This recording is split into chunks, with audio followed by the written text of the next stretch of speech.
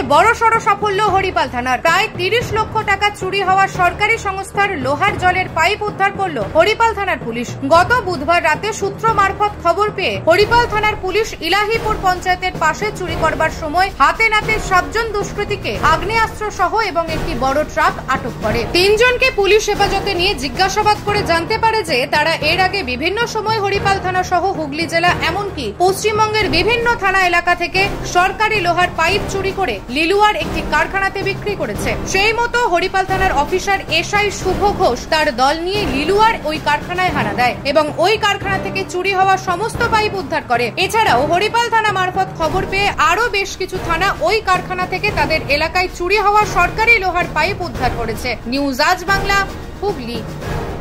নিঃসন্তান হওয়ার কারণ স্বামী বা স্ত্রী, যে কেউ হতে পারেন।